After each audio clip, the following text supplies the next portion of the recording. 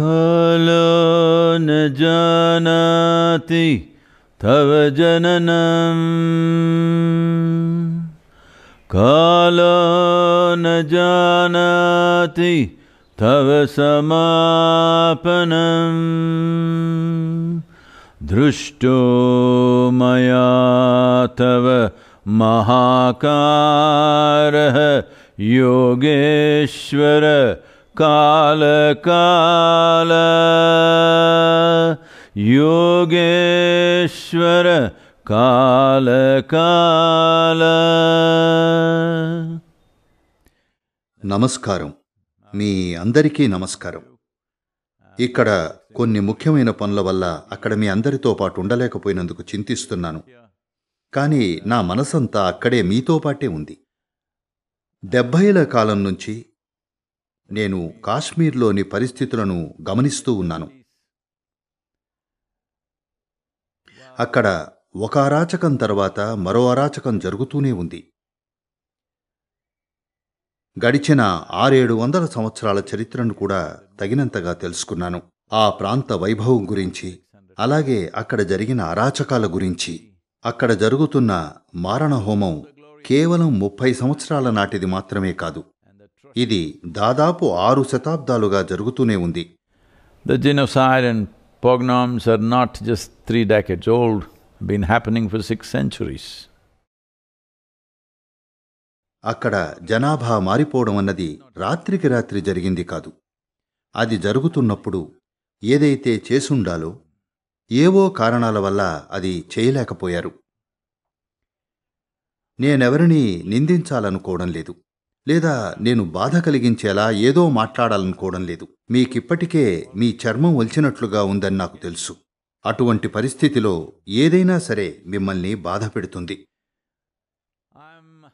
నాకున్న సానుభూతికి నేను మాటల్లో తెలియపరచగలిగింది చాలా తక్కువ. జరగాల్సినవన్నీ అసలు జరగలేదు.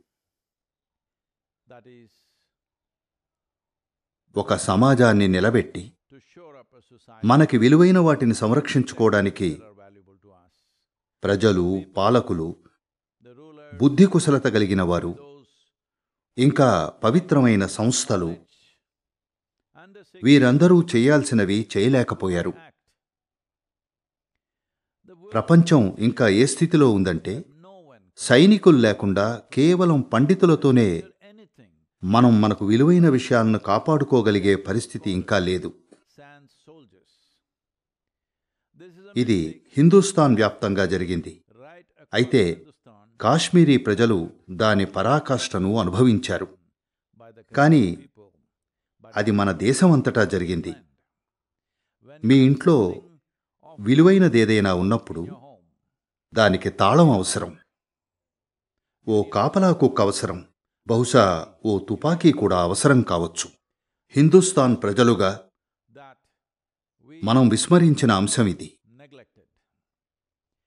భౌగోళిక పరంగా మనకు రక్షణగా ఈ పర్వతాలుండడం వల్ల మనం ఎవరూ వచ్చి మనల్ని తాకరనే భరోసాతో జీవించాం. మన శ్రద్ధని జీవితానికి సంబంధించిన సూక్ష్మమైన అంశాలపై పెట్టాం. కానీ ఎవరికైతే ఈ విషయాల పట్ల అవగాహన లేదో ఎవరికైతే దుర్మార్గపు యోచనలున్నాయో అటువంటి వారు ఈ బలహీనతను పూర్తిగా వాడుకున్నారు. ఎన్నో విధాలుగా చూడండి ఇది మిమ్మల్ని అవమానించడానికి కాదు. ఇది ఎలా అంటే నష్టం ఇప్పటికే జరిగిపోయింది. భారతదేశానికి వెన్నెముకైన ఆధ్యాత్మికతను మతాలకతీతమైన లోతైన మానవతా దృక్పథం గల ఈ ఆధ్యాత్మికతను బలపరచాలి. మన సంస్కృతి దీని గురించే. అలాగే ఆర్థిక పరంగా ఏవైతే చర్యలు చేపట్టగలమో అవి చేపట్టాలి. అధిక జనాభాను తిరిగి ప్రమాదానికి గురి చేయకుండా కనీసం కొన్ని ప్రదేశాలనైనా తిరిగి సాధించాలి. ఇది చాలా కష్టతరమైన పని. కొంత కృషి జరుగుతోంది. డాక్టర్ సురేందర్ గారు అలా అనడాన్ని నేను అర్థం చేసుకోగలను. ఎందుకంటే మనం ఎటువంటి కృషి చేశామన్నది కాదు ముఖ్యం. మనకు వస్తున్న ఫలితాలు ఎటువంటివి అన్నది ముఖ్యం. ఫలితాలు పెద్దగా కనిపించడం లేదు. మూడు వందల డెబ్భై సెక్షన్ ఆంక్షలు ఎత్తివేయడం అనేది చాలా పెద్ద అడుగే. కానీ అది అక్కడ సాకారం చేసి ఆ ప్రదేశాన్ని సాధారణ ప్రజానికం సురక్షితంగా ఉండేలా చేయడం అన్నది ఇంకా జరగలేదు. ప్రజలను ఉద్యోగాలు చేయమని ప్రభుత్వం ప్రోత్సహిస్తోంది. ఇతర రాష్ట్రాల నుండి అక్కడ కూలి పని చేయడానికి వెళ్ళిన వారి జీవితాలు కూడా సురక్షితంగా లేవు. కానీ అదే సమయంలో దాదాపు ఎనభై ఐదు నుండి తొంభై శాతం ప్రజలు ఇటువంటి చర్యల్లో భాగమవుతూ ఉంటే రక్షణ దళాలు ప్రజలకు రక్షణ అందించడం అనేది చాలా కష్టమైన పని. దీనికి రాజకీయపరమైన ఇంకా మిలిటరీపరమైన పరిష్కారం అవసరం. అక్కడ దాదాపుగా ఐదు లక్షల మంది సైనికులు చాలా సంవత్సరాలుగా ఉన్నారు. కానీ మీ గురించి అంతర్జాతీయంగా జరిగిన ప్రచారాలు కథనాలు మనకు తెలిసినవే. అందుకని నా ఉద్దేశంలో ఓ ముఖ్యమైన విషయం ఏమిటంటే అక్కడ జరిగిన కథనాన్ని మన చేతుల్లోకి తీసుకోవాలి.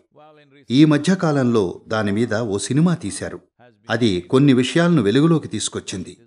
నా తరం తర్వాత వచ్చిన వారందరికీ అసలు ఇలాంటివి జరిగాయన్న విషయం కూడా తెలియదు ఈ సినిమా వాటిని తెలిపింది. అయినప్పటికీ మనం ఇంకా అక్కడ జరిగిన కథనాన్ని మన చేతుల్లోకి తీసుకోలేదనిపిస్తోంది. మన భౌగోళిక గుర్తింపులను ఇంకా జాతిపరమైన గుర్తింపులను అధిగమించాల్సిన సమయం ఖచ్చితంగా వచ్చింది. కానీ ఈ గుర్తింపులను కోల్పోకూడదు. మనకున్న విలువైన జ్ఞాన సంపత్తో గుర్తింపు ఏర్పరచుకోవడం అనేది మన భవిష్యత్తుకు మార్గం. ఎందుకంటే ఈ గుర్తింపు ఇంకా ఈ సామర్థ్యంతో ఉన్నప్పుడు మనం ఎక్కడికి వెళ్ళినా సరే మనం మనలా ఉండగలం. నేను కాశ్మీర్లో జరిగిన విషయాన్ని తోసిపుచ్చొచ్చు అనడం లేదు. దయచేసి నన్ను అపార్థం చేసుకోకండి. ప్రతి రెండు మూడు నాలుగు వారాలకు ఇద్దరు కాశ్మీరీ హిందువులు హత్యకు గురవ్వడాన్ని చూసినప్పుడు నాకు ఎంతో బాధ కలుగుతుంది. నాకు సంబంధించినంత వరకు ఇవి ఉత్త గణాంకాలు కాదు. వీళ్ళు మీ వంటి నా వంటి ప్రజలు. ఇద్దరిని చంపేశారంటే ఇద్దరినే కదా అంటే అది ఉత్త సంఖ్య కాదు. రెండు జీవితాలు రెండు కుటుంబాలు. వారికి సంబంధించిన ప్రజలకు సర్వస్వం పోయినట్లే. అందుచేత ఓ విషయం ఏమిటంటే మీలో చాలామందికి ఇదేదో చిన్న విషయంగా అనిపించవచ్చు కానీ నేను మీ సమాజ దీర్ఘకాలిక శ్రేయస్సు గురించి ఆలోచిస్తున్నాను. దీన్ని గురించిన కథనాన్ని మన చేతుల్లోకి తీసుకోవాలి. ఇంకా ఎన్నో ఎన్నో విషయాలు చేయాలి. ఈ కథనాలను మన చేతుల్లోకి ఎలా తీసుకోవాలంటే మీరు సుముఖంగా ఉంటే మీతో ఒక రోజు గడపడానికి నేను సిద్ధంగా ఉన్నాను. ఇది ఎలా చేయొచ్చో మనం చూడొచ్చు. దేశవ్యాప్తంగా కేంద్ర ప్రభుత్వానికి మీరు ఈ విజ్ఞప్తి చేయొచ్చు. అదేమిటంటే కాశ్మీర్ ప్రజలకు జరిగిన అన్యాయానికి చిహ్నంగా దేశవ్యాప్తంగా ప్రతి నగరంలోనూ కనీసం ప్రతి ముఖ్య నగరంలోనూ ఓ వీధి లేదా ఓ సెంటర్ను కాశ్మీర్కు సంబంధించిన పేరుతో పిలవడం మొదలుపెట్టాలి. లేదా ఒక కశ్యప పర్వతము లేదా శిఖరము చిహ్నంగా ఏర్పరచాలి. ఇవన్నీ చిన్న విషయాలే అని నాకు తెలుసు. Or there must be a Kashyapa mountain or a peak I know these are poor substitutes but కానీ మనం కాశ్మీర్ తాలూకు వైభవమైన ఇంకా ఘోరమైన చరిత్రను ప్రజలకు గుర్తు చేయాలంటే ఇలాంటి చిహ్నాలు అవసరం. ఎందుకంటే అలా చేయకుండా అక్కడకు పోయి ఆ ప్రదేశాన్ని తిరిగి తీసుకోవడం చాలా కష్టం. ప్రాక్టికల్గా చూద్దాం. ఎందుకంటే ఈ మధ్యకాలంలో నేను మీ సమాజానికి చెందిన ఓ ముఖ్యమైన వ్యక్తిని కలిశాను. ఆయన చాలా ప్రముఖమైన అధికార పదవిలో ఉన్నారు. ఆయన నాతో రిటైర్ అయిన తర్వాత తిరిగి శ్రీనగర్ వెళ్తాను అని చెప్పారు. నేను ఆయన్ని వారించాను. ముఖ్యంగా మీ స్థాయి వారు అలా చేయకూడదు. ఎందుకంటే మీకు ఏదో ఘోరాన్ని తలపెట్టడం ఇంకెవరికో వేడుకవుతుంది అన్నాను.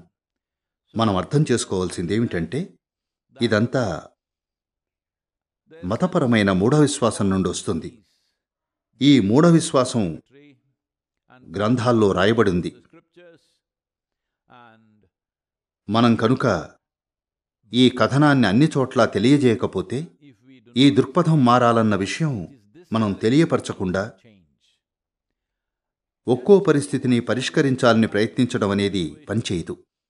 ఎందుకంటే అసలు అజర్బైజాన్ నుండి కంబోడియా వరకు ఉన్న ప్రాంతమంతా హిందూస్తానే.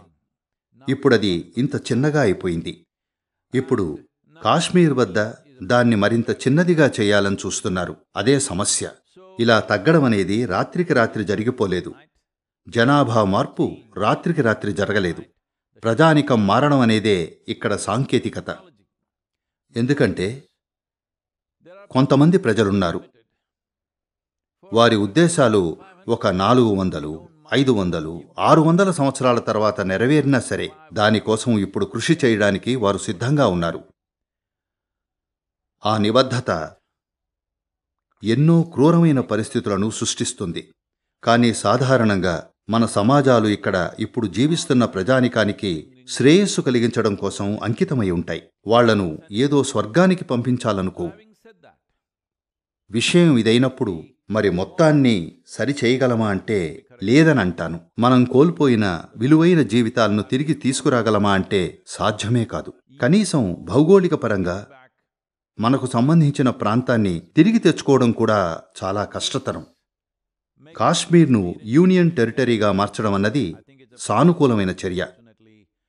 అదృష్టవశాత్తు సుప్రీంకోర్టు కూడా దాన్ని ఓ చట్టంగా చేసింది. మనం ఎన్నో చారిత్రాత్మకమైన తప్పిదాలు చేశాం. మనం అర్థం చేసుకోవలసిన విషయం ఏమిటంటే ఆ సమయంలో ఏదైతే చెయ్యాలో అది చేయకపోతే తర్వాత అది చెయ్యాలనుకుంటే అప్పటికి ఆలస్యమైపోతుంది. గతంలో చేసిన తప్పులను మనం సరిచేయలేం. కానీ మనకు ఓ భవిష్యత్తుండేలా తీర్చిదిద్దుకోవడం ఎలానో చూడాలి. మన తల్లిదండ్రులు అనుభవించిన బాధలను కష్టాలను తలుచుకుంటూ బాధపడుతూ ఉంటే కుదరదు. మనం ఓ సురక్షితమైన సంప్రదాయపరమైన గుర్తింపును ఏర్పరిచి మనం ఫలానా అన్న గుర్తింపును అలాగే రాబోయే తరాల బంగారు భవిష్యత్తును ఆస్వాదించటం చాలా ముఖ్యం. మీరు ఇదంతా మర్చిపోవచ్చు అని నేను అనడం లేదు. బాధపడకండి రేపు అన్నీ బానే ఉంటాయి అన్న సిద్ధాంతాన్ని ప్రతిపాదించడం లేదు. నేను అలా అనడం లేదు. నేను చెప్తున్నది ఏమిటంటే నేను ఓదార్పునివ్వడంలో అంత గొప్పవాణ్ణి కాను. కానీ నేను పరిష్కారాల గురించి ఆలోచిస్తూ ఉన్నాను. దీని గురించి ప్రభుత్వానికి సంబంధించిన ఎన్నో రంగాల వారితో మాట్లాడాను. కానీ మనం ప్రతిపాదించిన ప్రతి పరిష్కారము మరెవరో తోసిపుచ్చేయడం జరుగుతోంది. ఎందుకంటే ప్రపంచంలో దీని గురించి ఒక విధమైన దృక్పథం ఉంది. ఆ దృక్పథాన్ని మార్చడం చాలా ముఖ్యం. నేనిప్పటికే అది మీతో చెప్పాను. ఓ సినిమా చేశారని నాకు తెలుసు. కానీ గంటన్నర రెండు గంటలున్న సినిమా థియేటర్లో ఆడడం అన్నది ఒక విషయం. అది మంచిదే. కానీ నేను అనడం మీరు పది నిమిషాలు పదిహేను నిమిషాలు ఇరవై నిమిషాలున్న చిన్న వీడియోలు చేయాలి. వీటి ద్వారా వ్యక్తిగత కుటుంబాలు అనుభవించిన బాధలను తెలియజేసి వెలుగులోకి తీసుకొచ్చి ప్రపంచవ్యాప్తంగా ఉన్న ప్రజల హృదయాలను కరిగించాలి. ఇది చాలా ముఖ్యం. ప్రస్తుతం మన విజ్ఞాన శాస్త్రం ఏ స్థాయిలో ఉందంటే మనం సందేశాన్ని ప్రజలకు అందించాలంటే అందుకు థియేటర్ అవసరం లేదు. ప్రతివారి ఫోన్లోనూ ప్రతివారి కంప్యూటర్లోనూ ఆ సదుపాయం ఉంది. పరిష్కారాలు కావాలనుకుంటే ఈ దృక్పథాన్ని మార్చడంపై ధ్యాస పెట్టడం చాలా ముఖ్యమైన విషయమని నేను భావిస్తున్నాను. మీరు ఓ నిర్ణీత సమయాన్ని తెలియజేశారు. మనలో ఈ బాధలకు సాక్షులుగా ఉన్న వారందరం మరో ఇరవై ఇరవై ఐదు సంవత్సరాల్లో మనం ఉండకపోవచ్చు. నేను దీని గురించి ప్రగాఢంగా సానుభూతిని తెలియపరుస్తున్నాను. కానీ ఈ దృక్పథాన్ని మనం మార్చాలి. కనీసం దేశవ్యాప్తంగా కాశ్మీర్ను ప్రజలకు అర్థమయ్యేలా చేయడం ముఖ్యం. భారతదేశంలో జీవిస్తున్న వారందరికీ మన ప్రజలకు ఇంత ఘోరం జరిగిందన్న విషయం తెలియాలి. ఇది ప్రజల మనసుల్లో హృదయాల్లో కనుక లేకపోతే ఎన్నో విషయాలు జరిగాయి. ఈ దేశంలో ఘోరాతి ఘోరాలు జరిగాయి. అవన్నీ మట్టు పెట్టుకుపోయాయి. అసలవి జరగలేదేమో అన్నట్లుగా తుడిచిపెట్టుకుపోయాయి. కావాల్ని కల్పించిన కరువుల వల్ల కొన్ని లక్షల మంది చనిపోయారు. కొన్ని లక్షల మందిని ఊచకోత కోశారు. కొన్ని లక్షల మందికి విషప్రయోగం చేశారు. ఎన్నో విషయాలు జరిగాయి. కొన్ని వేల ఆలయాలను కూల్చేశారు. ఇవన్నీ ప్రజలు మర్చిపోయారు. సరేనా? ఎందుకంటే ఎవరో కథనాన్ని వారికి అనుకూలంగా మార్చేశారు. వాస్తవ కథనాన్ని తెలుపాల్సిన సమయం ఇది. ఈ కథనానికి ఎంతో కొంత చరిత్రపరమైన న్యాయం చేయాలి. మనకిది ఇది స్పష్టంగా తెలుసు. మనం అన్నీ తిరిగి తీసుకురాలేం. అన్నీ పునర్నిర్మించలేం. వారి తాత ముత్తాతలు చేసిన పనులకు ప్రస్తుత ప్రజల మీద ద్వేషం పెంచుకోలేం. కానీ ఈ కథనాన్ని మనం పదిలం చెయ్యాలి అది లేకపోతే మన సమాజానికి మూలాలు గౌరవం లేకుండా పోతాయి. దీన్ని మనం మార్చి తీరాలి కాశ్మీరీ ప్రజలు తిరిగి వారి ప్రాంతానికి వెళ్ళడం గురించి మాట్లాడాలంటే అది వారి కళ అన్న విషయం నాకు తెలుసు. కానీ ప్రతి రెండు వారాలకు ఇద్దరు మనుషులు పోయారు. ఐదుగురు పోయారని చదువుతున్నాం. అలాంటివి చూడాలని మేం కోరుకోవడం లేదు. ఇవి జరగకుండా చూడడం ఎలా? అంటే అది మిలిటరీకి ఇంకా రాజకీయాలకు మధ్య ఉన్న విషయం. వారు కృషి చేస్తున్నారు. కానీ మనం ఒక్క మనిషిని కోల్పోయినా సరే మనకి వారి కృషి సరిపోలేదని అనిపిస్తుంది. ఎంతో మంది సైనికులు వారి జీవితాలను పణంగా పెట్టారు. కానీ ఇంకా సరిపోవడం లేదు. ఓ అదృష్టకరమైన విషయం ఏమిటంటే మన పొరుగు దేశంలో గందరగోళం ఉంది. అందువల్ల ఘోరమైన సంఘటనలకు వారు అందిస్తున్న సహకారం రాబోయే సంవత్సరాల్లో ఖచ్చితంగా తగ్గిపోతుంది. ఇది మనం ఉపయోగించుకుని సరిహద్దుకు అవతల వైపు నుండి వస్తున్న సహకారాన్ని మనం నిలిపివేయాలి. ఇలా చేయడం ద్వారా చాలా వరకు అంతర్గత రక్షణను నెలకొల్పచ్చు. ఎంతవరకు చేయగలమో చూడాలి. ఎందుకంటే సాధారణ ప్రజానికానికి కూడా వీధిలో నడుచుకుంటూ వెళ్ళేవాళ్ళకు కూరగాయల కొట్టుకు వెళ్ళేవాళ్ళకు టీ షాపుల్లో కూర్చునే వాళ్ళకు ఇళ్ళల్లో తుపాకులుంటాయి. అప్పుడప్పుడు వాళ్ళు తమ మతపరమైన బాధ్యత అనుకునేది ఏదైతే ఉందో దాన్ని నెరవేరుస్తూ ఉంటారు. ఇలాంటి వాళ్ళందరినీ పట్టుకోవడం ఏ ఏజెన్సీకైనా చాలా కష్టమైన విషయమే. ప్రపంచవ్యాప్తంగా ఇలాంటి ఉద్యమాలు జరిగాయి. ఇవి ఎన్నో దశాబ్దాలు శతాబ్దాల పాటు నడిచాయి. ఇది కేంద్ర ప్రభుత్వానికి రాష్ట్ర ప్రభుత్వాలకు ముఖ్యంగా భారతదేశ ప్రజానికానికి ఓ గొప్ప పాఠం. మనం కనుక సమస్యను సమయానికి పరిష్కరించకపోతే మర్నాడు అది చేయడానికి ఆలస్యం అయిపోయే అవకాశం ఉంది. That if we do not attend to a problem in time, tomorrow could be too late. ప్రస్తుతం ఇదే స్థితిలో ఉన్నాం. నేను మీకెలాంటి ఓదార్పును అందించలేదని నాకు తెలుసు. నేను సానుభూతిని తెలిపే పదాలు ఉపయోగించడం లేదు. కానీ నా మనసంతా మీలో ప్రతి ఒక్కరితోనూ ప్రగాఢమైన సానుభూతితో తొణికిసలాడుతోంది. మీరు పడ్డ బాధ ఈ దేశంలో మరెవరూ పడలేదు. కానీ ఇటువంటి విషయాలు అన్ని చోట్ల జరిగాయి. మీరు కనీసం వాటి గురించి మాట్లాడుతున్నారు. ఇతరులు వాటి గురించి మాట్లాడడం కూడా లేదు. ఎన్నో విషయాలు జరిగాయి. కానీ మీ విషయంలో ఘోరం ఏమిటంటే అది ఈ మధ్యన జరిగింది. దాదాపు ఇరవై ఒకటవ శతాబ్దంలో. మీరు అనుమతిస్తే ఇప్పుడు ఇరవై ఒకటవ శతాబ్దంలో కూడా జరుగుతుంది. ఇది అతి ఘోరమైన విషయం. స్వతంత్ర భారతదేశంలో ఇవన్నీ జరగడం నేను ఇందాక చెప్పినట్లుగా నా సానుభూతి తెలిపేందుకు తగిన పదాలు నా వద్ద లేవు. పోనీ తక్షణమే ఫలితాలనిచ్చే పరిష్కారం కూడా లేదు. నా వద్ద రెండూ లేవు. మీలోని ప్రతి ఒక్కరి పట్ల నాకు ప్రగాఢమైన సానుభూతి మాత్రమే ఉంది. If you have any questions, please.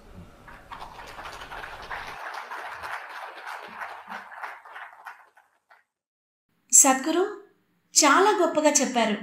మీరు చెప్పినట్లుగా మనం చిహ్నాలను సృష్టించాలి. మన కథనాలు తెలియజేయాలి. మనం గతాన్ని సరిచేయలేం కానీ భవిష్యత్తును నిర్మించుకోగలం. అంతేకాదు మీరు ఈ పరిస్థితిలో మాకు అందుబాటులో ఉండి మాకు మార్గదర్శకంగా ఉంటానని కూడా చెప్పారు మీ నుంచి అది వినడం. ఒక దీవెనగా మేము భావిస్తున్నాం. అవును సద్గురు మాకు కావాల్సింది. జాలి కాదు మాకు కావాల్సింది సానుభూతి కావాల్సింది పరిష్కార మార్గం జాలి పొందే స్థాయిని ప్రస్తుతం మేము దాటాం మేం బాగానే ఉన్నాం కానీ ఇంకా మాలో చాలా మంది క్యాంపులలో ఉండాల్సి వస్తుంది. చాలామంది అంత బాగాలేరు. తమ హక్కుల కోసం వీధుల్లో పోరాడుతున్నారు. మాతో పాటు ఇక్కడ ఉన్నందుకు మీ విజ్ఞానంతో మాలో చైతన్యాన్ని కలిగించినందుకు ధన్యవాదాలు సద్గురు. నేను ఓ మాట చెప్పొచ్చునంటే నేను ఓ మాట చెప్పొచ్చునంటే నాకు క్యాంపుల్లో ఉండే పరిస్థితులు బాగా తెలుసు. మీలో రాహుల్ పండిత్ ఉన్నారని నేను అనుకుంటున్నాను. నేను ఆయన రాసినవి చదివాను. నేను వీటి గురించి చాలామంది దగ్గర ప్రస్తావించాను కానీ ఏమీ జరగలేదు. క్యాంపుల విషయానికొస్తే ప్రభుత్వాలు పనిచేసే తీరు మీ అందరికీ తెలుసు. వారికి సదుద్దేశాలున్నప్పటికీ వారి యంత్రాంగం ఎంత నిదానంగా పనిచేస్తుందో మనకు తెలుసు. అవి మానవ శ్రేయస్సుకు తగినంత వేగంగా పనిచేయవు. సాధారణంగా అవి చాలా నిదానంగా పనిచేస్తాయి. ఇవన్నీ చెప్పుకొచ్చిన తర్వాత నాకేమనిపిస్తుందంటే మీలో చాలామంది కార్పొరేట్ ప్రపంచంలో ఉన్నారు కాబట్టి మీరు ఓ కార్పొరేషన్ను గుర్తించవచ్చు ఎవరైనా సంవత్సరానికి కొన్ని కోట్ల పెట్టుబడి పెట్టగలిగితే ఈ క్యాంపులను మనుషులు ఉండడానికి యోగ్యంగా చేయడం అన్నది మెరుగ్గా జరుగుతుంది. అంతేకాదు తద్వారా ఉద్యోగావకాశాలు కల్పించినట్లు కూడా అవుతుంది. ఇలా చేయగల కార్పొరేషన్ మీరు గుర్తించగలిగితే నేను కూడా కొంతమందితో మాట్లాడతాను. వారి సిఎస్ఆర్ యాక్టివిటీగాను లేదా మరొకటిగానో వారిది చేపట్టి దీన్ని పునరుద్ధరించవచ్చు. అది త్వరిత పరిష్కారం అవుతుంది. ప్రభుత్వాలు ఇది చేయాలని ఎదురు చూసే కంటే ఇది మేలు. మేము అడుగుతున్నది కూడా ఇదే. మేం జాలి కోరుకోవడం లేదు. మేం ప్రజలు మాకు తోడుగా ఉండాలని కోరుకుంటున్నాం. ప్రీతోష్ జీ గారు మిమ్మల్ని ఓ ప్రశ్న అడగాలనుకుంటున్నారు సద్గురు. ప్రణామం సద్గురూజీ. నా ప్రశ్న ఇక్కడ అందరికీ తెలిసిన విషయం గురించే. అదేంటంటే ప్రస్తుతం మాది ఒక మూలం లేని సమాజంగా ఉంది. ఇన్ని సంవత్సరాలుగా మేము స్థితిస్థాపకంగా ఉంటున్నప్పటికీ మాలో చాలామంది బాగానే ఉంటున్నప్పటికీ మాలో ఎంతో లోతైన నిరాశ కొనసాగుతూనే ఉంది. సద్గురు ఈ బాధను అధిగమించి ముందుకు ఎలా సాగాలో తెలియజేస్తారా? నేను ఇంతకుముందు చెప్పినట్లుగా మన గుర్తింపు. ఎందుకంటే ఇది అన్ని చోట్ల జరుగుతూనే ఉంది. ఇంతటి అకృత్యాలు లేకపోయినప్పటికీ ప్రపంచవ్యాప్తంగా అన్ని సమాజాల్లోనూ ఇది జరుగుతూనే ఉన్నాయి. మనం ప్రదేశానికి సంబంధించిన గుర్తింపును అధిగమించి మన గుర్తింపుని మన సంప్రదాయానికి మన ఆధ్యాత్మికతకు ఇంకా మన విజ్ఞానానికి మళ్ళించాలి. మనం ఇలా చేయగలిగితే మనం చేయగలిగిన ఓ పని ఏమిటంటే కాశ్మీర్ హిందూ యువకులు అందరూ ఇందులో పాల్గొనవచ్చు. కావాలంటే మొదటిసారికి మౌలిక అవసరాల్ని నేను ఏర్పాటు చేయగలను. మీరు దక్షిణ భారతదేశ వైపు వచ్చి ఒకరోజు కాశ్మీర్ డే అని చెయ్యండి. అందుకు అవసరమైనవన్నీ మేం మీకు అందిస్తాం. మీ సాహిత్యాన్ని మీ కళల్ని మీ సంగీతాన్ని అన్నింటినీ ప్రదర్శించండి. ప్రజలకు మీ కథలను తెలియజేయండి. కానీ ఈ కథలు కాశ్మీర్కు సంబంధించిన సౌందర్యానికి శక్తికి అద్దం పట్టేలా ఉండాలి. అంతేగాని కేవలం జరిగిన ఘోరాలు మాత్రమే కాదు వాటి గురించి కూడా చెప్పాలి. కానీ ప్రజలు మిమ్మల్ని మిమ్మల్నిగా గౌరవించగలగాలి. అంతేగాని ఎవరో మీకు ఏదో చేసిన దానికి కాదు. మీ గురించి మీరేం చేసుకున్నారు? అది ముఖ్యమైన విషయం. ఇది కశ్యపుడికి సంబంధించిన ప్రదేశం. కశ్యపుడు సప్తఋషుల్లో ఒకరు. మీకు తెలుసు కదా? మనం ఆదియోగిని ఇంకా సప్తఋషులను ఆరాధిస్తాం. మేము ఓ ప్రక్రియ చేస్తున్నాం. కొన్ని పరిశోధనలు జరుగుతున్నాయి. ప్రపంచవ్యాప్తంగా అంటే నార్త్ ఆఫ్రికాలో సౌత్ అమెరికాలో సెంట్రల్ ఏషియాలో సౌత్ ఈస్ట్ ఏషియాలో సరే భారతదేశంలో. సప్త ఋషుల ఆనవాళ్ళు ఎక్కడెక్కడున్నాయో తెలుసుకోవడానికి కృషి జరుగుతోంది.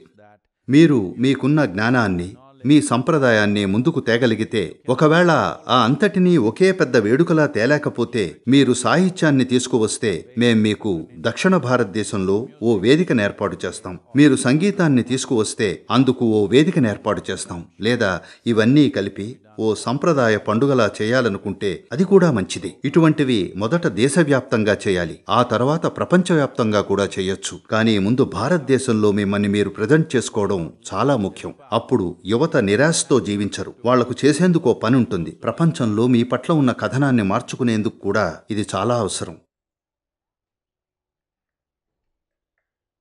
ధన్యవాదాలు సద్గురు.